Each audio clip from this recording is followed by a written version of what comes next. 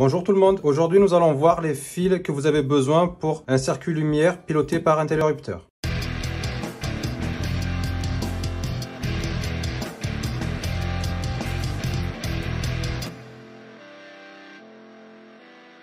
Avant de commencer la vidéo, si vous n'avez pas vu comment câbler un télérupteur, je vous invite à cliquer sur le lien ci-dessus. Aujourd'hui, nous allons voir quels sont les fils nécessaires pour un circuit piloté par un télérupteur. Donc ici, de votre tableau électrique pour aller dans une boîte de dérivation, il vous faut un fil noir, un fil rouge, un fil bleu, un fil vert jaune et un fil violet.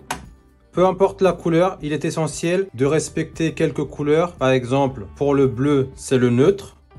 Et pour la terre, c'est le vert jaune. Après, le reste, vous pouvez choisir une couleur pour la phase, c'est-à-dire rouge, marron, noir. Ça, c'est comme vous voulez. Pourquoi choisir une boîte de dérivation? Pour moi, je vous conseille fortement de mettre une boîte de dérivation pour un circuit lumière ou prise, peu importe le circuit que vous amenez dans votre maison. Sauf, par exemple, les circuits spécialisés. C'est-à-dire que vous arrivez directement d'un disjoncteur, vous partez sur la prise ou sur la machine. Un four, par exemple. Ici, nous allons ouvrir notre boîte de dérivation. Dans la boîte de dérivation, on va retrouver le fil de terre, le vert jaune qui est ici.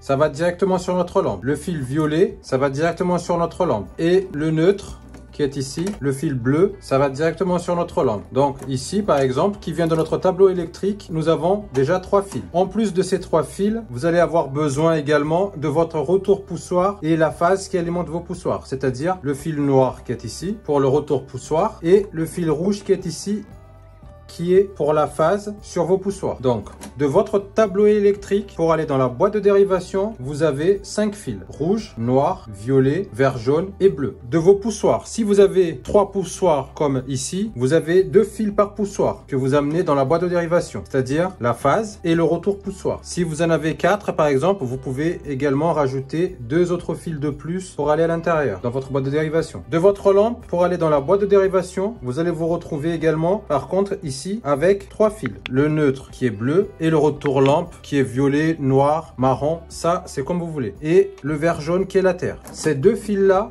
le bleu et le vert jaune, vous ne pouvez pas le changer. C'est la norme impose le fil bleu, c'est pour le neutre, et le fil vert jaune, c'est pour la terre. Les fils noirs qui sont ici, qui viennent de nos poussoirs, on les a reliés avec le fil noir qui va dans notre tableau électrique. Je ne vais pas vous montrer le câblage. Si vous voulez savoir le câblage du télérupteur, je vous invite à regarder la vidéo sur comment câbler un télérupteur. J'espère que ce tuto vous a plu. Je vous dis à très très bientôt. Au revoir.